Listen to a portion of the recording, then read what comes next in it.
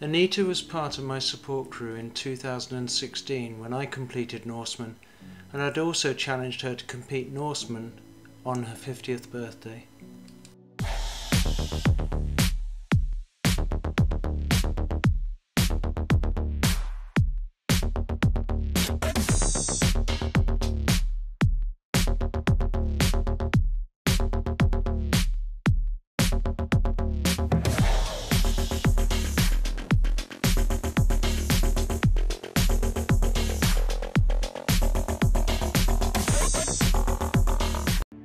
We had a very early start out from our place, stopping off en route to pick up Catherine and then onto the ferry from Denmark to Norway. We got over to Kristiansand and stayed with Reinhard and Rosie to do some final swim, bike and run practice. From Kristiansand we moved on to Eidfjord three days before the race, time enough for us to check out the race route do a final shakedown ride, some test swims and some gentle runs.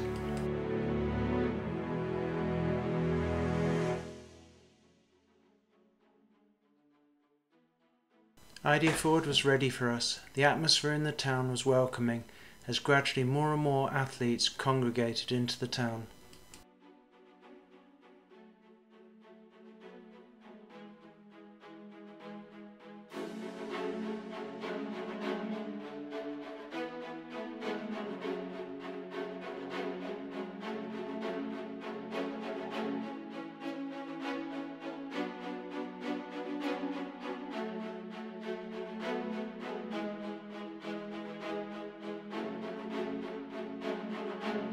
We attended the race briefing, checked in, had the official photographs taken, had all the race stickers and numbers for Anita, and the support crew and car.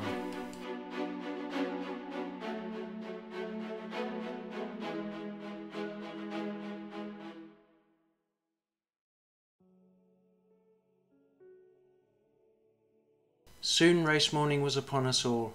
A super early start in time to get the bike racked in T1 and for Anita to get onto the ferry at 4 am.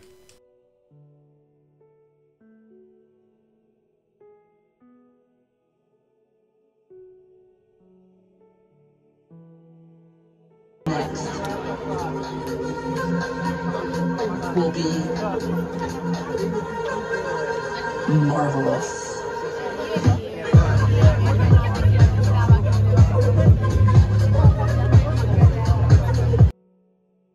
Here on in I want to pass over to Anita and let her tell you the sequence of events that made up her incredible Norseman race. This is Anita's race report in her own words. On the 3rd of August at 5 a.m., I started my adventure of Norseman. This is an Ironman distance race, but it is a journey where you start from a fjord and end it on a mountain. You will need your own support car and crew. The entry is a lottery, but as of last year, you can also accumulate X points and then use them to gain an entry. The latter I got from the Swedeman race in 2023. I secured my place in October last year and my training started immediately. We did a race recce in June, in some horrendous weather, and traveled a week before the race to Eidfjord, as Marcus has already explained. On race morning, we had to leave at 2 a.m. I had a quite good sleep even though I had caught a cold a few days earlier. The weather forecast looked pretty good for the day, and it was quite warm, and even the water turned out to be warm 17 degrees. My support crew was my husband, Marcus, and my Ironman mad friend, Katrin, who already has some Ironmans and X triathlons under her belt as support. We got everything set up in T1, and I soon entered the ferry. We were told that we leave 4 a.m. sharp. I had none of the race nerves I experienced last year. I was quite looking forward to the race and a beautiful day. Jumping off the ferry, which was not as high as some had thought. Previously, a lot of people had asked me if I would jump. I hit the water and swum to start line.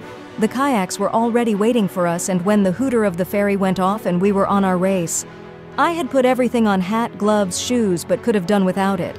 The right hand glove filled with water, and I had to squeeze it every third stroke. I had forgotten to put it under the wetsuit arm. The swim felt easy, and I kept overtaking people. It wasn't as dark as I was expecting. No problem with sighting.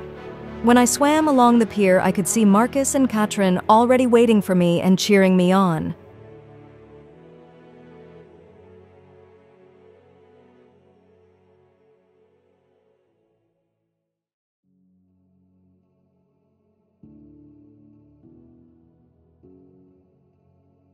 Marcus was waiting for me, and we started the striptease in T1. It is quite an art to undress, eat, and get dressed again. Soon I was ready and run out of T1.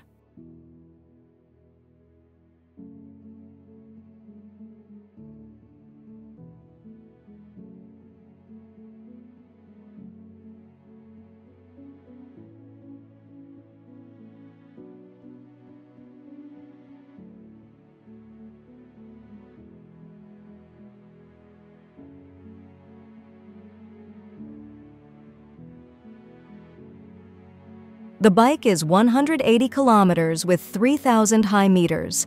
It is a stunning route, but the climbs are brutal. At one point, we had to cycle through a long car tunnel. They had organized this very well, so that the cars were diverted completely away from us, but I was struggling with the intensity of the altitude gain. At the 20 kilometer point, the support crew was allowed to provide support. I stopped to get my overshoes on as my feet were cold, I always get cold feet, and ate a muesli chocolate bar.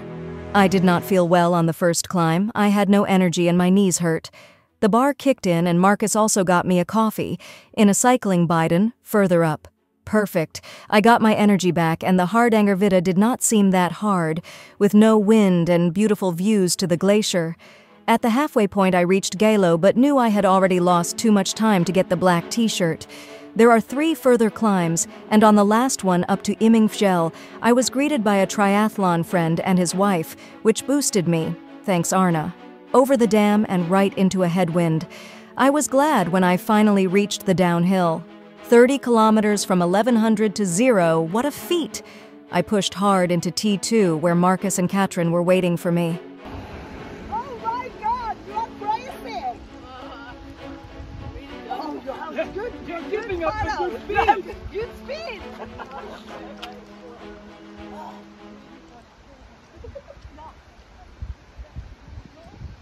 In T2, I had a quick change into my running stuff, and then I was off onto the run. Although the bike was a real struggle, I had put it in my mind to run the flat 25 kilometers before reaching Zombie Hill. I soon saw a guy walking in front of me and I overtook him. That was good to have some targets in front of me. I was greeted by two triathlon friends from Kristiansand, Venture, and Morton. Venture ran with me for a while, and soon I reached the 20 kilometer point. I could not eat or drink anymore, but tried to run and walk. I could see the mountain, Gaustatoppen, and that gave me another boost to move on. Rain started, but it was still warm, and soon we were on Zombie Hill. Marcus walked with me, and I found it very hard. A race official stopped and told us that we can't slow down as the cutoff was at 22.15. Another push and we made it at 22.03. Phew. Then it was another five kilometers up to the junction to the mountain footpath and then turn around. Katrin joined us on the way down, and we were walking with our headlamps in the dark. We finally reached the finish line after 19 and a half hours. It was great to see the race crew still all there and cheering everybody on to the last person, we got a hot soup served and had a chat with the race crew. I was absolutely spent, and but glad I finished.